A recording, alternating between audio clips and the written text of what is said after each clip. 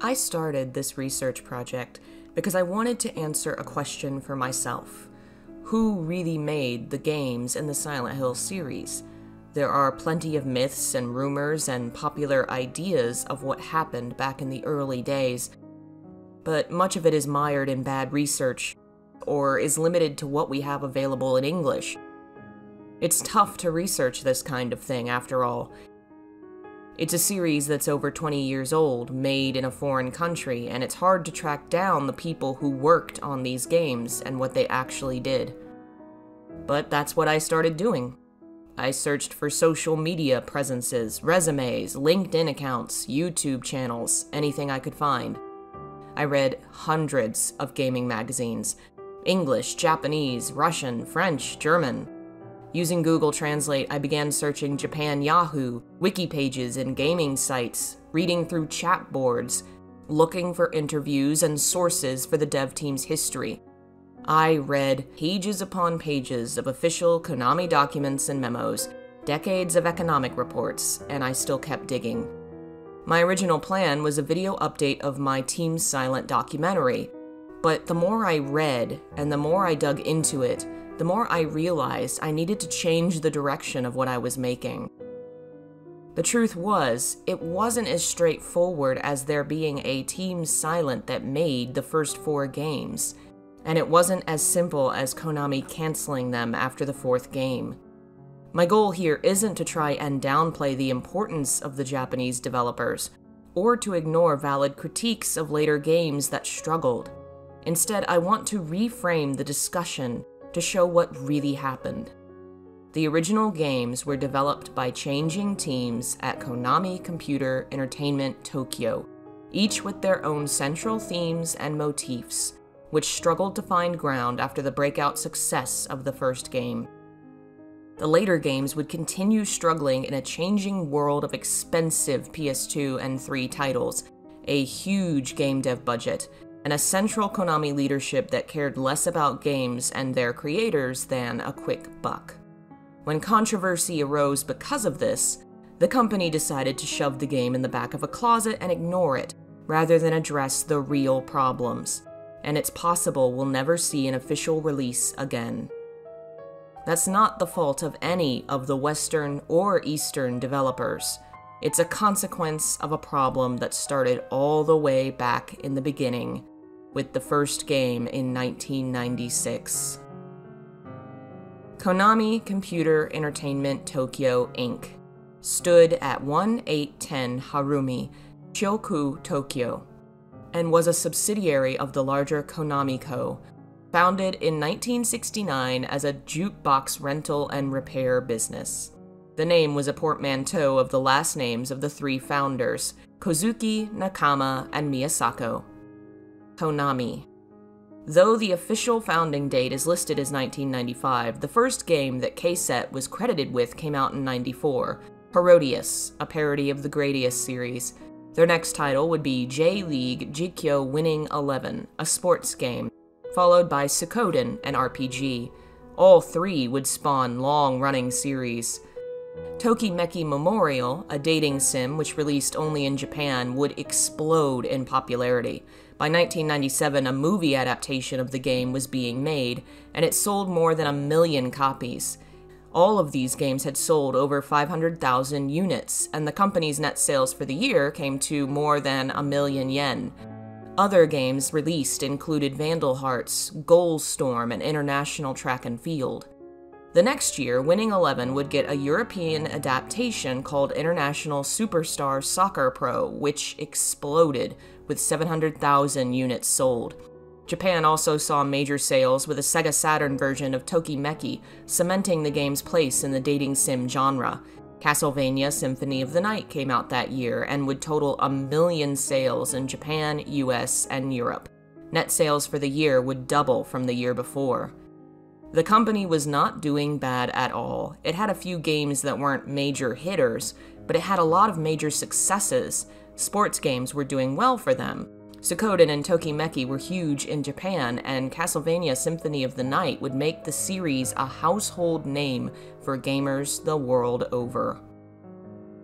The oldest records of KCET's organizational chart comes from 2002, and other documents seem to reinforce the idea that this has been the basic outline of the company from the beginning. From the top, the board of directors, president and corporate officers, the audit office and management committee all oversaw the lower level divisions. These divisions were divided into three sections corporate planning, production, and production support. Within those divisions were separate offices and departments.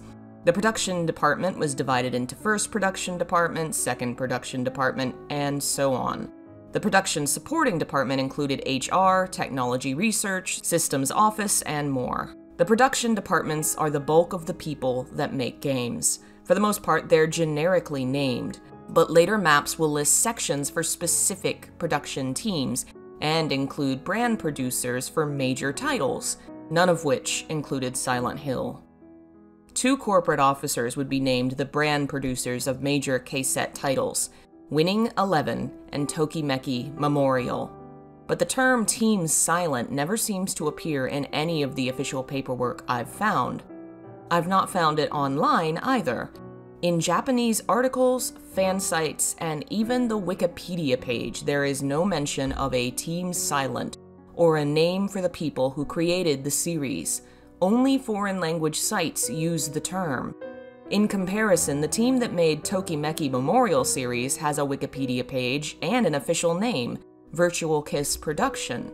The Winning Eleven team has a page, and KCET's former Production Department 2 and Development Department 7 were both named part of Winning Eleven Production. It's difficult to find official paperwork on the organization of the company or the various positions of its employees, those sums available through the various websites they've used over the years.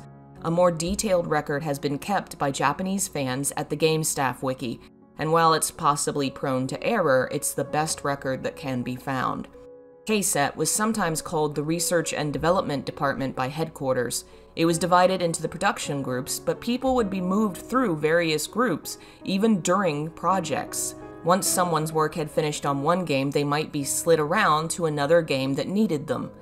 The earliest possible mention of a team's Silent production group must be here. Gozo Kitao, producer on the first Silent Hill, is the deputy director of Development Group 7 in 1996 through 1998, working under director Kazuhisa Hashimoto. It's possible this was the division that worked on the first game, not only due to the time period and Kitao's involvement, but also because of who was named as his superior, as Hashimoto was apparently instrumental to Silent Hill in its early days. Over the course of about a decade, nearly 186 people worked on the first four Silent Hill games. Central figures from the first game, like the director, multiple programmers, and artists, would all leave, only 20% of Silent Hill 2's team would consist of people who worked on the first title. In addition, the way the game was made changed completely. Silent Hill 1 was a small passion project with a group of about 10 central team members who wrote and created the game and its core concepts during team meetings. Everyone was involved and had a say in what would be made. That simply wouldn't be possible for Silent Hill 2 the game would get larger and larger, ending up with a team of about 60 to 70 people, and the actual game content would change three times as a consequence of these changes. It simply got too large for the people involved to deal with by themselves, to the point that Imamura, who originally was the director of the game, stepped back and became producer of the project, no longer heavily involved in creating what the game would become, but overseeing the general production of the game because it was just too large to leave alone. 13% of Silent Hill 3's team worked on Silent Hill 1, and 20% of them worked on 2.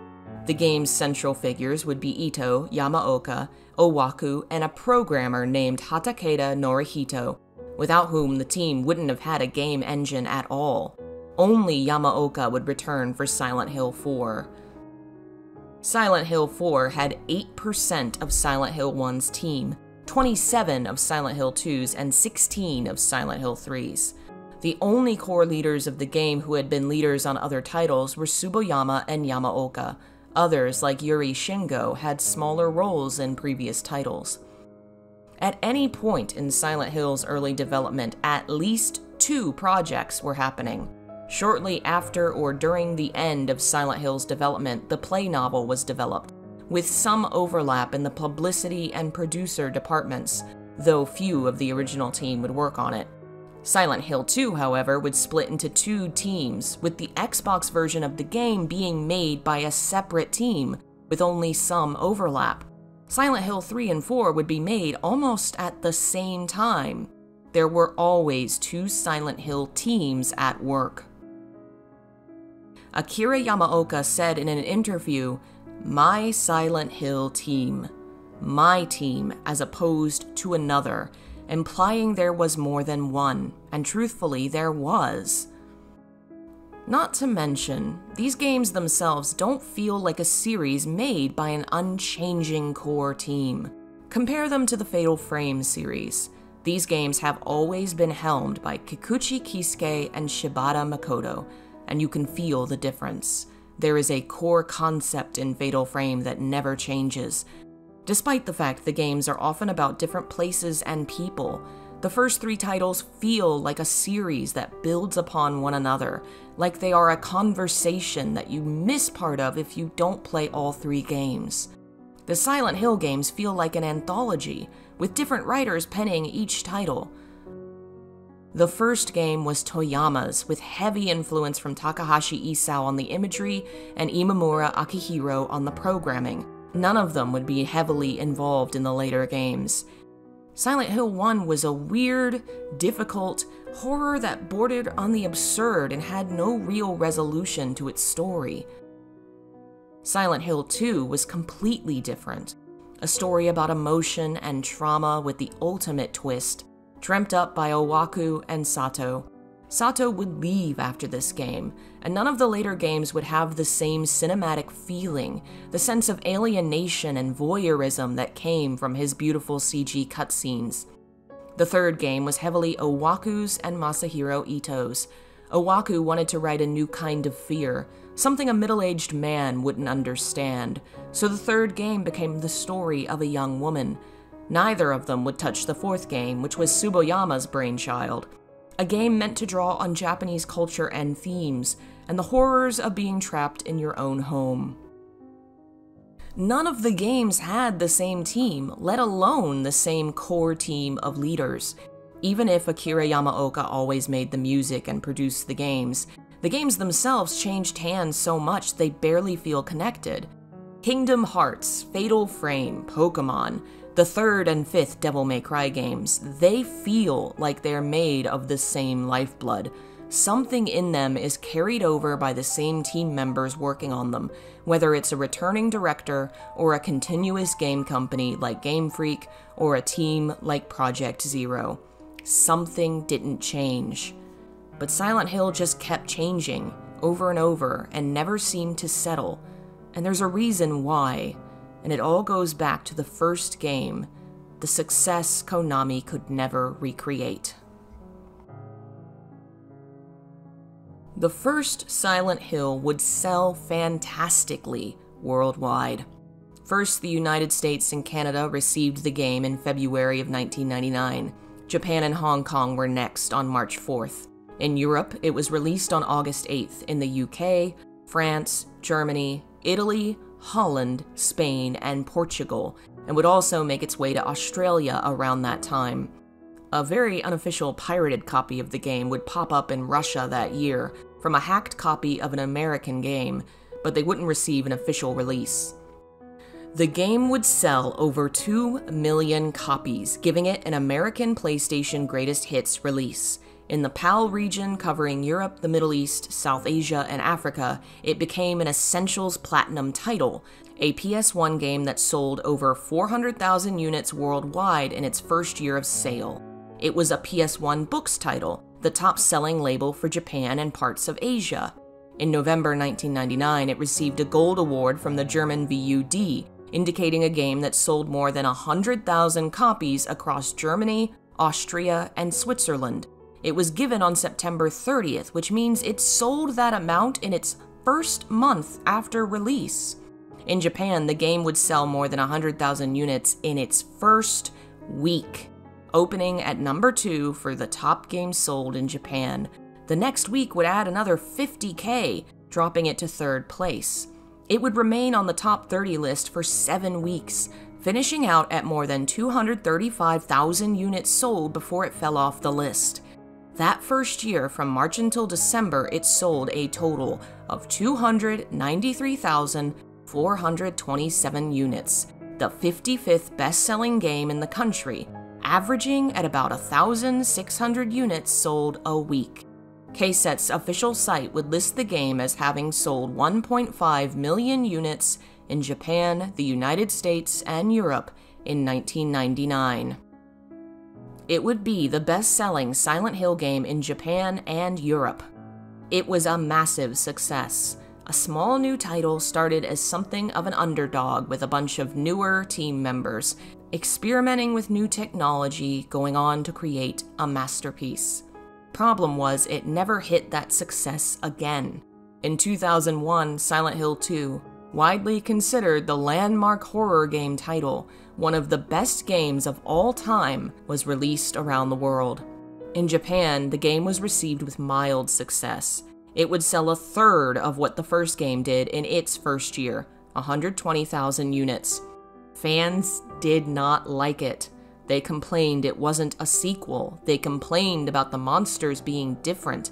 Reading chat rooms from the time of the release reveals a shocking amount of discontent and dislike for one of gaming's most famous horror titles. It was a major blow to KCET.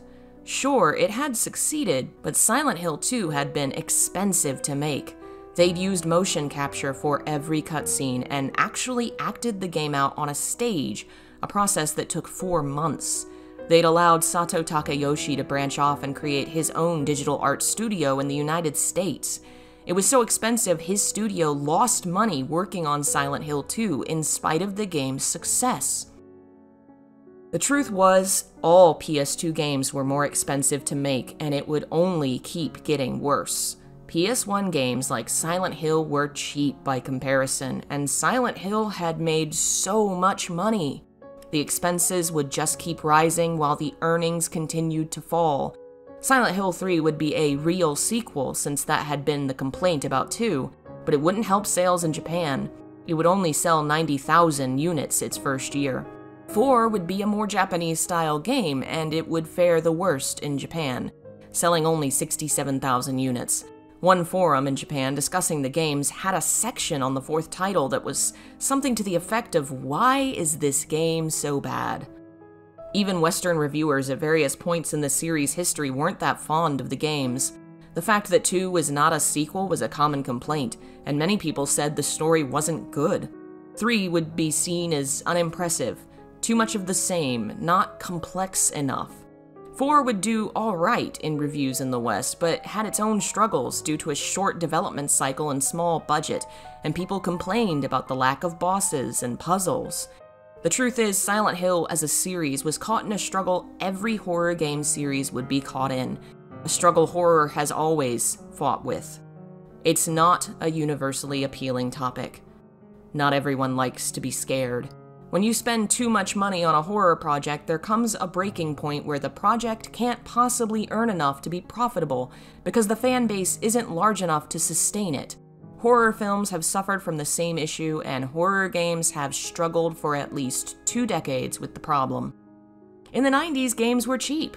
It might take a team of 10 or 20 people about a year to make a game, and the software and hardware were not that expensive.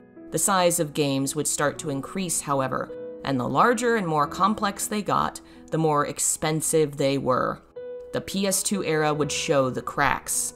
Haunting Ground, Rule of Rose, Cold Fear, Kuon, Echo Night Beyond, Clock Tower 3, Fatal Frame 3, Galerian's Ash, The Thing, Baroque, Ghost Hunter, Obscure 2, Siren. All of them horror games, great and small, good and bad.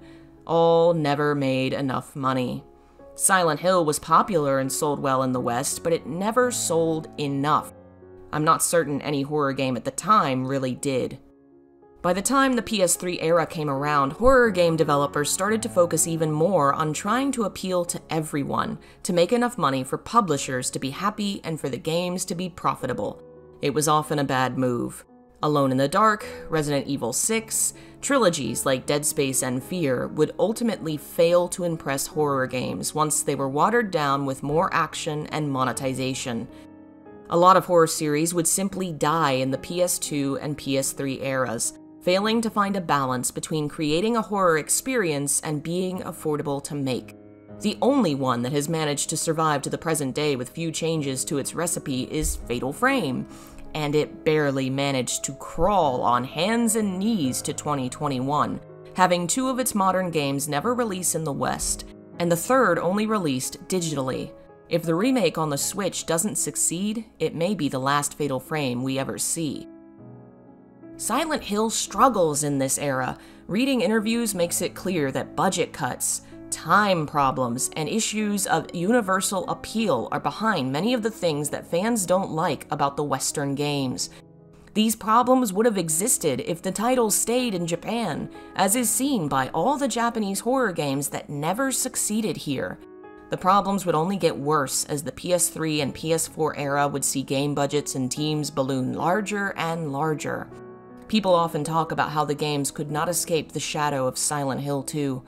I think they might be missing the real Goliath casting a shadow on the series, the incredibly profitable, cheap to make, wildly successful Silent Hill. That success the team was always chasing would lead them to make decisions and attempt things that backfired or didn't work like they wanted. Silent Hill 2 was meant to be a horror unlike any other, and the success of their first game gave them so much freedom it backfired. It didn't succeed. Not then. So they had to make a game fans wanted, and they made it in 3. But reviewers weren't fond of how little things had changed, and fans still weren't buying it like they had the first game. So the fourth title comes out, and it's different, but now it's too different. Fans start disliking it, reviewers dislike it, it sells less, the team comes back to the drawing board for Silent Hill 5, and then.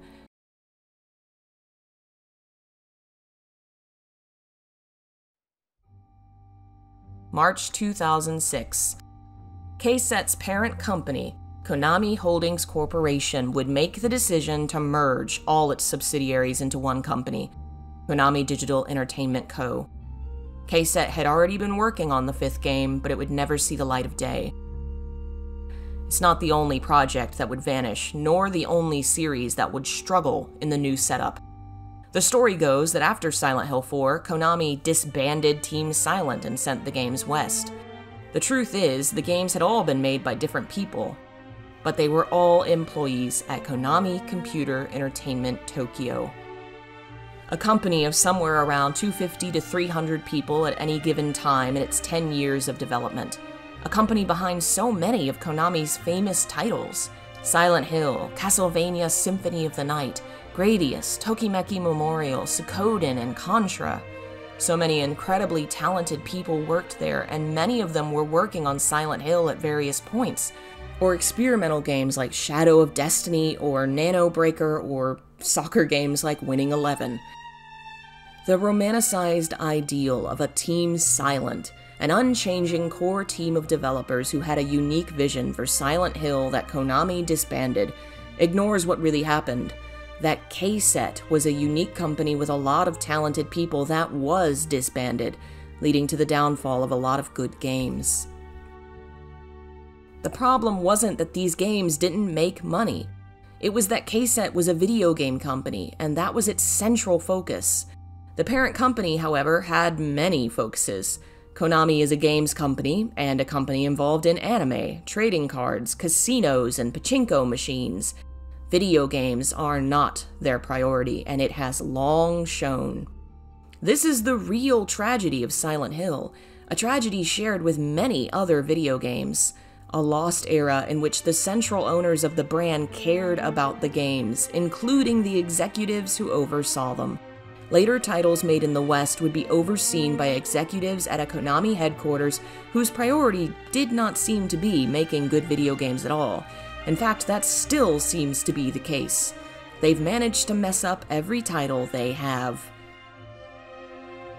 does it matter if there was a Team Silent? There were teams of people who worked on the game, and they were all at the same company, and many of them were central parts of the various titles. But each team was different, and it shows in how each game was different. Sato Takayoshi's style is dark and cerebral and haunting, and it comes through in Silent Hill 2. Toyama Keiichiro likes the weird and absurd, the unexplained and unexpected, like David Lynch and Twin Peaks, and Silent Hill is the weirdest of the series. Owaku wanted to tell a story rooted in female fear, and Silent Hill 3 is consequently a unique exploration of a female teen's worst fears that feels more grounded in the real world than the other games. Tsuboyama wanted to explore Japanese sensibilities, and for that reason, 4 draws more on folklore and visuals and even music from his home country. None of them are the same, but they share the same roots. Final Fantasy is similar in that way, a similar core design and themes with vastly different worlds, stories, and motifs. Few would argue that Final Fantasy IX and X were made by the exact same people with the exact same influences and themes just because it was made in the same country and company. Why are Silent Hill fans so determined to mythologize an unchanging group of Japanese developers who had an unchanging vision for Silent Hill? The truth is, this is an idea that hurts Western and Eastern developers. People to this day cry, bring back Team Silent. As if these many people haven't moved on with their lives. Interviews from the time show that most of the people that left Silent Hill did it on their own terms. They wanted to work on something else. They wanted to create new things. Toyama Keiichiro was happy to move on. Masahiro Ito left of his own volition. Sato Takayoshi, Hiroyuki Owaku, they all wanted to do something else. And even today, in social media places where you can speak to these developers, often fans who won't let go of this idealized past cause stress and annoyance for the developers that they won't leave alone. It leads to these developers feeling as if their glory days are behind them, as if anything they make now just doesn't matter, even though they're making such fantastic, beautiful works of art. It's as if they only have value because of what they did that impressed you. Demanding that Team Silent return ignores the fact that Silent Hill is a video game concept that could be worked on and created by so many talented people. Just because the games that have come out recently didn't impress you doesn't mean that someone else couldn't come along and make something impressive. Because the truth is, no one's always excited for every game that comes out. People remember the early days in a nostalgic way because most of those early complaints aren't recorded on the internet. You know, Twitter and Tumblr weren't around back then. YouTube wasn't a thing at the time. If Silent Hill 2 had come out yesterday, you would have had people on YouTube complaining about all the differences and changes and making angry screeds about how it wasn't a sequel. But because it happened in an ancient past that's not recorded in the same way, we can all imagine that it was a perfect, beautiful time before all the problems that the Western games brought. It's easy to want to point fingers and find someone to blame for why the series has ultimately seemed to have died out, cancelled and shoved in a drawer. Pointing the problems at people rather than a giant faceless corporation feels more cathartic. It's hard to feel like a company will be affected by your anger, because they won't. But you can hurt people far too easily. In addition, imagining that if only things were like they were back in the day feeds into the nostalgia we all feel for the past. Few seem to remember the games have always been controversial. They've always had mixed reviews and struggling sales. And even before the Western developers took over, Silent Hill had problems. But for all the flaws and struggles, I wouldn't change a thing. Not about the original games or the later ones. Silent Hill is a unique and experimental series that dares to go places few other games would, and did so long before other developers started doing it. It paved the way for a genre of games that were psychological, controversial, dark, and grim, more than the world had seen before. The games industry wouldn't be the same without it, warts and all. Even the later games, to me, are better horror games than many of the other titles I've played, and they always leave me thinking wondering, gripped by the mystery and power that is Silent Hill. I, for one, am very grateful to everyone, East and West, who has ever worked on the series and done their best to return us to those foggy streets. And I am grateful for Konami Computer Entertainment Tokyo. There may not have been a Team Silent, but there was a KCET, and I will never forget all the beautiful stories they gave to the world.